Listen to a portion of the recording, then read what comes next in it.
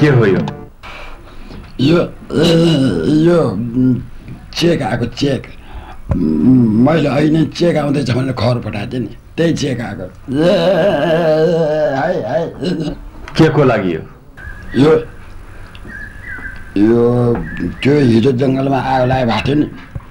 हो त्यो सय हेक्टर जङ्गल सकाप हो भनेर श्रीपासको सरकारले प्रतिवेदन दिँदै नि। अनि रुख काटेर वार पार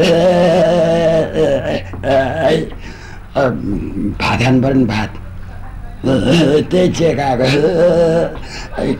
केबी फोर सिक्स क्या हो केबी फोर सिक्स भनेको केबी फोर सिक्स भनेको केबी चार छ भनेको ए जङ्गल फाँडेर भात खाने तपाईँ हुँ। जङ्गल फाँडेर भात खाने।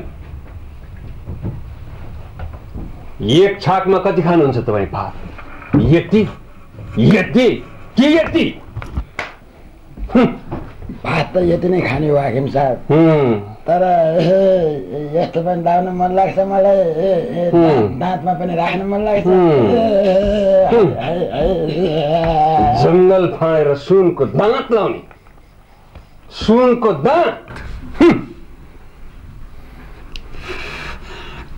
तपाईँ पनि राख्ने सुनको दाँत।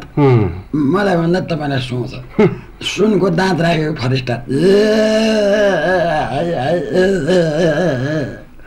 Get out. Get out.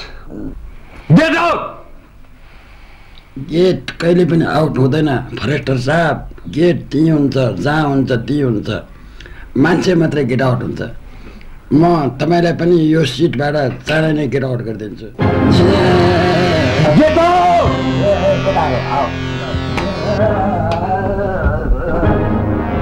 Get.